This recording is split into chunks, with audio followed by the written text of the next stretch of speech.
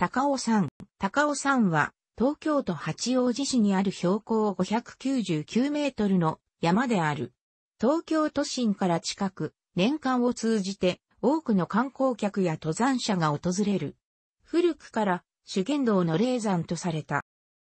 関東山地、秩父山地の東園に位置する山の一つ。明治の森高尾国定公園に指定されており、キャンプやバーベキュー、植物の採取、鳥類の捕獲などが禁止されている。山の中原には文化財を有する高尾山芋院のほか、高尾山、ケーブルカーを運行する高尾登山電鉄の運営による猿園、野草園、標高500メートルの高所にある高尾山、ビアマウント、ビアガーデンは夏限定、他の季節はレストランとして営業などの観光施設がある。山頂には展望台や高尾ビジターセンターがあり、全長 1697km に及ぶ東海自然歩道の起点でもある。また、高尾山には古くから天狗が存在しているとの伝説もある。山頂から東側は八王子市や相模原市などを中心とした関東平野の街並みや筑波山、房総半島、江ノ島まで眺めることができる。また西側は丹沢山地や富士山を見渡せる。当時の前後数日間には富士山の真上に太陽が沈むダイヤモンド富士を見ることができる。八王子88系にも選ばれている。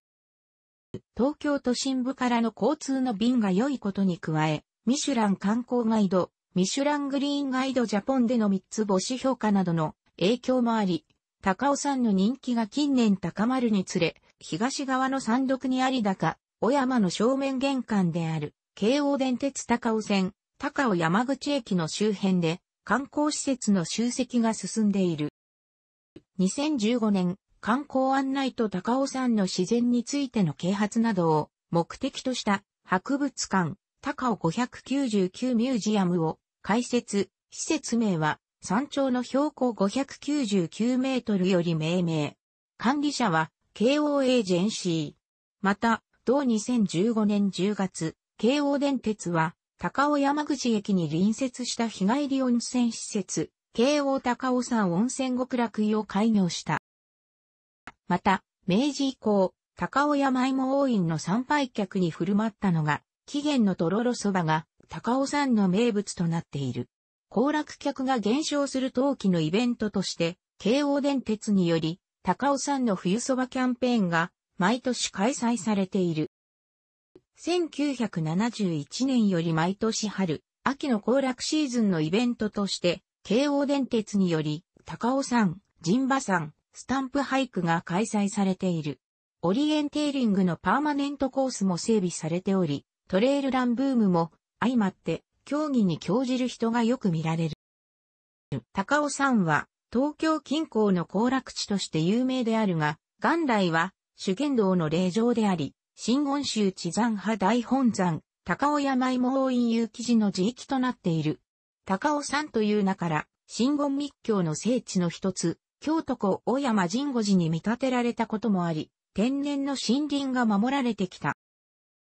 中世には、八王子城、地森寺城主、北条氏康、北条氏照親子がこの山を保護し、氏照による本山の畜木の伐採を禁じるという政策が薬王院に残されている。江戸時代には幕府直轄領として八王子大官、大久保長安が山林保護政策を取り、その書状が同じく薬王院に残されている。その後も提出後領林を経て国有林となり、常に森林が保護されてきた。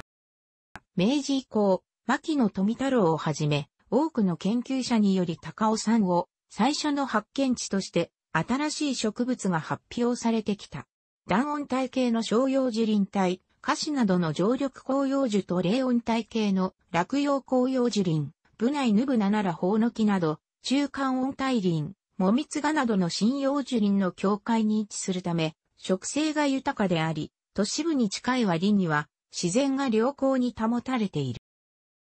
山頂から見て、東側の地下には、高尾山、ケーブルカーの下をくぐる形で、首都圏中央連絡自動車道、県央道の高尾山トンネル、下り線、南から北方向1348メートル、上り線、北から南方向1329メートルが南北に通っており、南側には高尾山インターチェンジがある。県央道の道路トンネル建設に際しては、自然保護団体や一部の市民から強い反対、運動が起こり、建設差し止めを求める高尾山天狗裁判が行われた。開通後の現在でも、景観保護や地下水脈の保全などへの懸念を指摘する声がある一方で、県央道開通により道路交通の便が改善されたとして、八王子市民や周辺地域の住民から歓迎する声もあり、賛否両論と言える。詳しくは、高尾山天狗裁判の項を参照。高尾山は、東京都心から電車で約1時間という交通アクセスの良さや、よく整備されている登山道、ケーブルカーなどを使って気軽に登山できることなどから、老若男女問わず登山者数が多い。年間の登山者数は約260万人を超え、世界一の登山者数を誇る。山頂へは登山道、自然研究路などが整備されており、各種ルートを組み合わせて低山登山が楽しめる。なお、高尾山の標高は低いが、登山口の標高も低いため、標高差は小さくはない。総じて、山頂までの所要時間は、全行程徒歩で1時間半から2時間程度である。など、難度や時間設定を組み替えることができるほど良好な歩道が整備されている。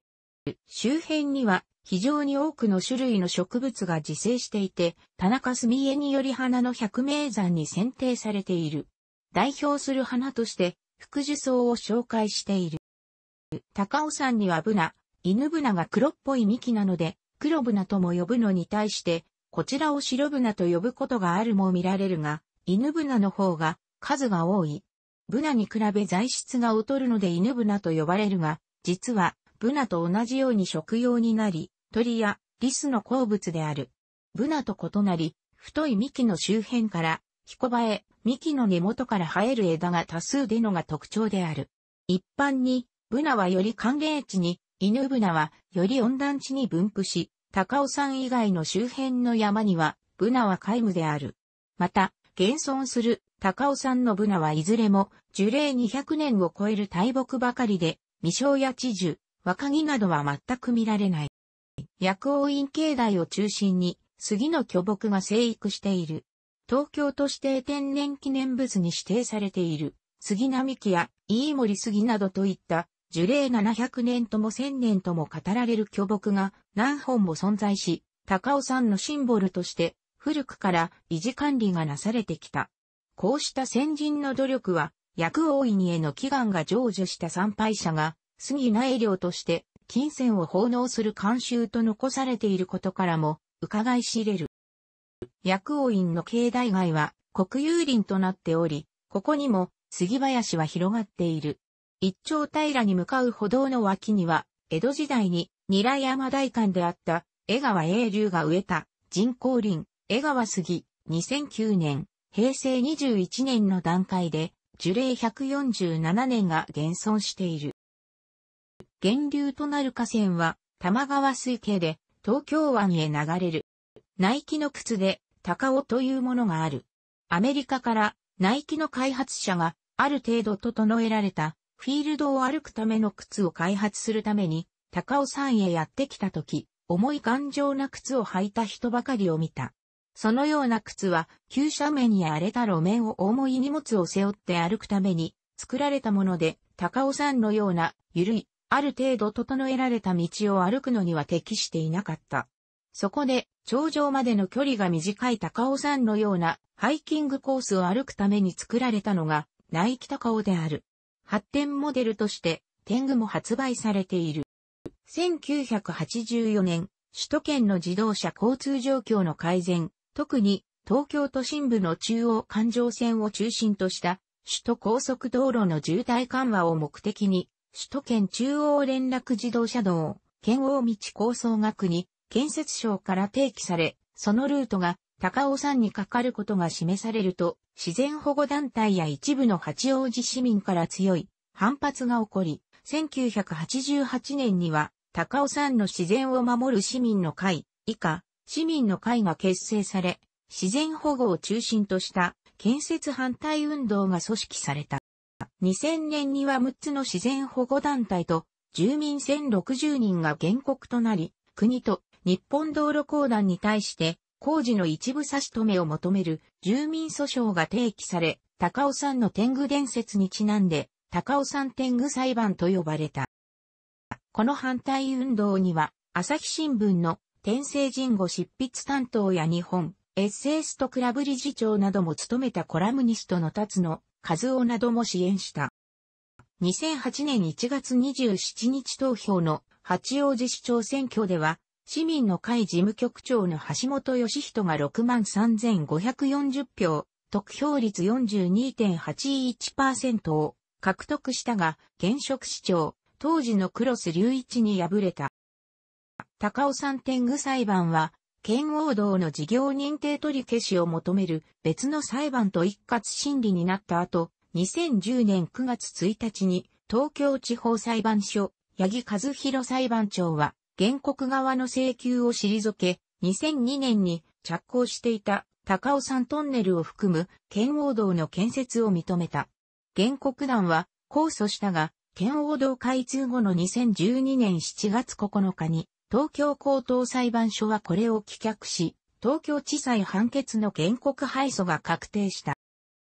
その後も市民の会は活動を続け、訴訟時に指摘した地下水脈の減少による井戸の枯渇などについて高尾山で調査、監視活動を継続するとともに、この訴訟の経験を公開、交換し、2000年からは道路建設や自動車郊外に反対する各地の住民、運動組織が加盟する道路住民運動全国連絡会、道路全国連の事務局業務も担当している。楽しくご覧になりましたら、購読と良いです。クリックしてください。